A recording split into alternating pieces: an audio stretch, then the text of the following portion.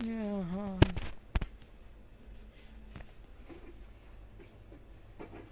Nabilihin sa ano. Grabe ang bigat dito. 180 euro. Munggo.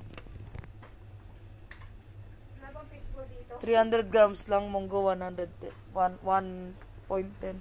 Kasi alam mo, Fishball? Wala yata. Mahal. Oo. ocho o diyos ata yung ganyan eh. Doon din pala kayo bibili. Oo, ito oh. Kaya, Oo. eto, seven, tapos dito, meron na din sila mama na. Pinipig. Five, oh, five? Oo, 585 lang. Wala po ito fish. Alam mo, Amerika to? Lahat ito mayroon. Oo nga, mas marami dun. Nagdala nga ako ng ano, inawi ko dito Sa Amerika, Oo. si mama puro pagkain na ganyan din. Yan, ang bangless bibili ng- bangus. Binibili ng bunso ko yun eh. Ah, wala siyang ano nak, no? ano ba yung ginagawa nating Graham? Crackers. Ah, Yung mango float. ay ito oo, nanggit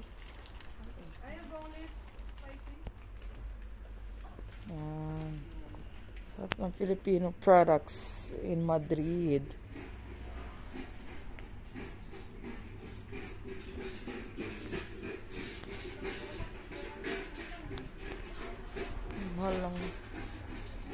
Ko, 320 euro.